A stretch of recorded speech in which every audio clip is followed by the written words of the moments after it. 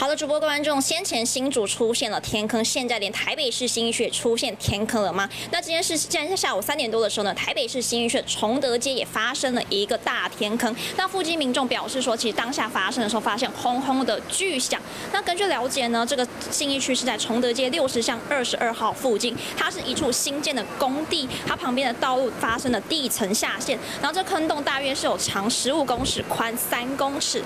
那么其实从刚刚稍早画面可以看到，说那个机车还有自行车也都陷入了这个坑洞里面。那这坑洞其实波及到了旁边的民宅。那么其实消防局在第一时间也马上将这些民众给驱离，马上给他们疏散开来。那是疏散的住户大约是有十多人。那同时警方也在现场也拉起了封锁线，然后通知了市府相关单位来到场处理。那根据了解，这个天坑的旁边是一处是准备新建的建案。那这建案预计要在一百一十五年完成。没有想到在今天发生了这个塌陷的这个状状况。那其实，在刚刚五点多的时候，还有发生第二次塌陷的这个情形。那根据了解，其实当下是因为好像在持续灌浆的关系，才会发生第二次的塌陷。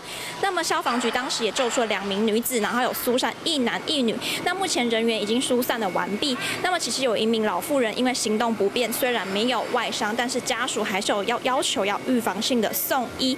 那目前建管处还有新还有政府的新工处的人员也都到场，现在来进行检检修当中。那么现场也设置了指挥所。那么初步怀疑是跟这个新建案有关系哦。那么以上是我们为您掌握的最新情形。如果大家会有最新的消息，也会来持续为您掌握。将时间交还给棚内主播。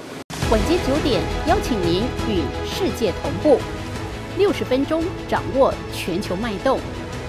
What News Nine 陈雅玲世界晚报给您崭新视野。